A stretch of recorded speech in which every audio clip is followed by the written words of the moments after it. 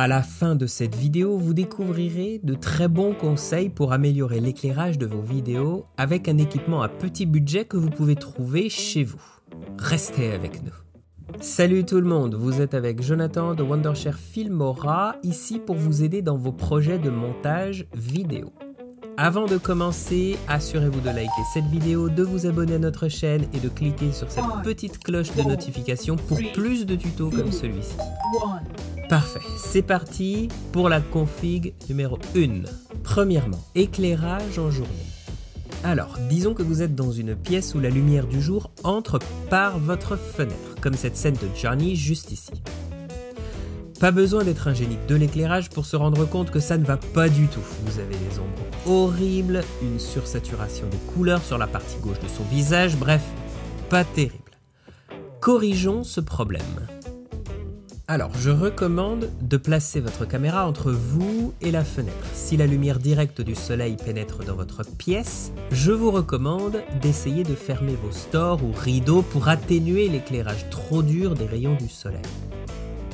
Donc voici à quoi ressemble la configuration de Johnny. Pas d'ombre, éclairage uniforme, il ressort de l'arrière-plan, beaucoup mieux. La seule vraie source de lumière qui est utilisée ici provient de la fenêtre du fond. Bon, peut-être que la seule chose bizarre concerne le reflet dans les lunettes, mais c'est quand même difficile de contourner ce souci. Un autre conseil important est de régler votre balance des blancs sur lumière du jour ou ombre. Cela permettra aux couleurs d'apparaître correctement à l'écran. En dehors de cela, assurez-vous de ne pas être surexposé, surtout si vous êtes tout blanc en mode cachet d'aspirine comme John. Deuxième astuce, mélangez éclairage d'extérieur et d'intérieur ensemble. Que se passe-t-il si vous êtes dans une pièce où il n'y a pas beaucoup de lumière? Bon, eh bien c'est le cas de ce studio. Comme vous pouvez le voir, il y a une fenêtre à l'arrière, mais elle n'aide pas beaucoup pour l'éclairage. Dans ce cas précis, nous souhaitons aussi filmer l'ordinateur ici, donc quelle est la configuration que nous pourrions utiliser pour l'éclairage de cet espace? Alors, nous pouvons utiliser ce projecteur au-dessus de cette guitare basse, nous pouvons l'incliner pour qu'il soit dirigé vers la tête de Johnny, et si la lumière est allumée, cela ressemble à ceci. Ah! Enfin, mieux Nous avons donc un peu plus de lumière ici, mais on ne peut toujours pas voir son visage. Comment allons-nous résoudre ce problème? Bon, nous avons ce petit placard dans lequel nous pouvons mettre une lampe et nous pouvons en quelque sorte l'utiliser comme une boîte à lumière.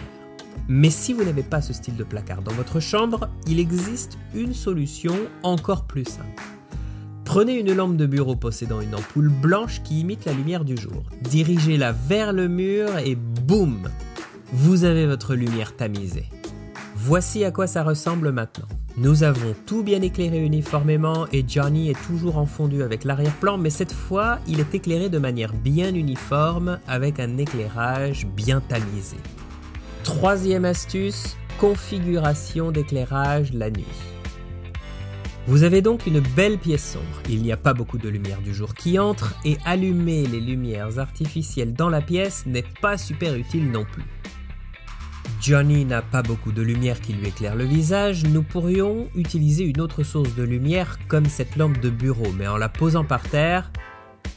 Ouais, parfait pour se raconter des histoires terrifiantes, mais pour le reste, c'est quand même pas terrible. Donc, une solution plus simple serait de prendre cette lampe de bureau et de diriger sa source de lumière en direction du plafond ou du mur derrière la caméra. Et... Tadam nous voilà maintenant avec une très belle source de lumière douce et tamisée. Voilà, vous avez là trois combinaisons de configuration d'éclairage que vous pouvez utiliser dans vos vidéos à la maison. Quelques remarques additionnelles que nous aimerions ajouter.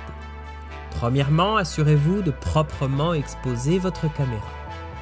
Deuxièmement, assurez-vous d'utiliser correctement la balance des blancs. Et enfin, ne filmez pas contre un mur blanc.